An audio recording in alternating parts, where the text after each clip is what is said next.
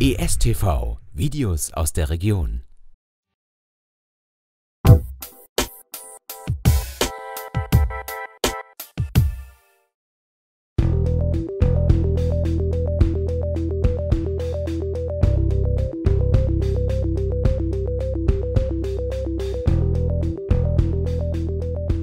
Ja, also wir hatten ja wie alle äh, Fußballvereine oder generell alle Vereine das Problem, dass wir gerade kein Training machen dürfen.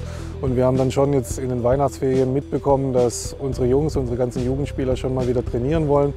Und dann hatten unsere Jugendtrainer eigentlich die Idee, äh, dass man entsprechend, diesen, entsprechend dieser Corona-Verordnung ist ja Einzeltraining möglich und dass man dieses Einzeltraining anbietet. Damit haben wir nach den Weihnachtsferien angefangen.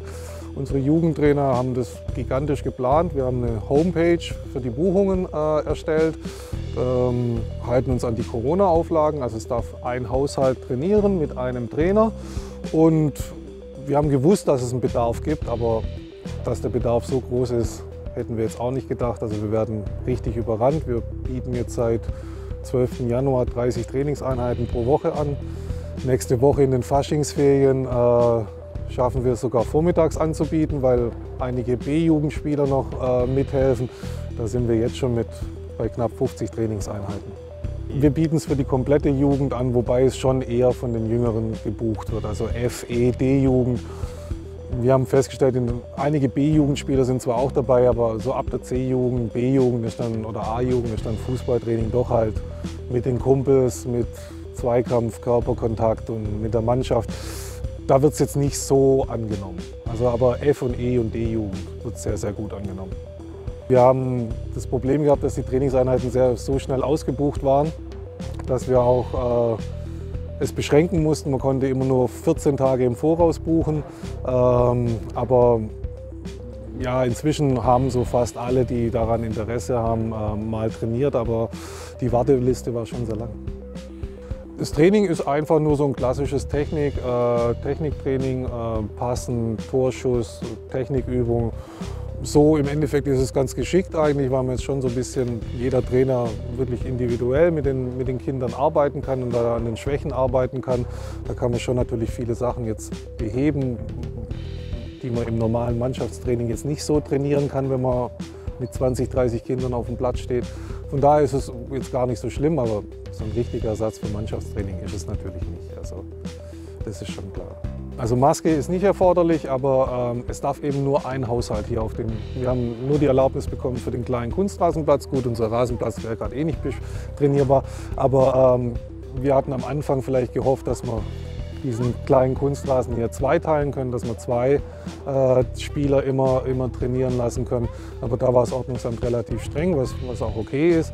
Es darf halt ein Haushalt hier äh, trainieren, ein Trainer mit äh, einem Spieler oder mit, wenn er Brüder hat. Ähm, und dann muss, ist immer so 10, 15 Minuten dazwischen sein, dass die, dass die Spieler sich nicht treffen. Das haben wir dann auch auf unserer Buchungshomepage so eingerichtet, dass die einen gehen und bis die anderen kommen, ähm, also sind, sind die weg, die treffen sich dann auch nicht. Also wir, am Anfang war es so, dass, dass manche Eltern relativ viel gebucht haben. Ja, ähm, und da haben wir dann die Regel eingeführt, jedes Kind nur einmal in der Woche. Ähm, und jetzt haben wir in den Faschingsferien, sind die dran, die bisher noch nicht zum Zug kommen. Da haben wir dann klipp und klar zu den Eltern gesagt, wir werden uns die Buchungen anschauen und es dürfen die wir werden die berücksichtigen, die bisher noch nicht trainieren konnten. Aber ja, wobei ich jetzt so den Eindruck habe, dass die, die Spieler, die da wirklich Interesse daran haben, die trainieren auch. Die, die schaffen es auch, sich äh, ihre Termine zu bekommen. Aber es ist maximal einmal in der Woche. Mehr kriegen wir einfach nicht hin. Wir haben so ungefähr 200 Jugendspieler im Verein. Auch wenn das nur die unteren Jugend sind, sind, sind, sind wir trotzdem so bei 100, 120 Jugendspielern. Ähm, das klappt meistens leider nur einmal die Woche, aber mehr kriegen wir gerade nicht hin. Wir bieten es jetzt äh, zurzeit immer von 14 Uhr bis 18.30 Uhr an. Wir haben da ein super Jugendtrainerteam, haben da auch ein bisschen Glück, dass viele von unseren Jugendtrainern sind als Selbstständige tätig.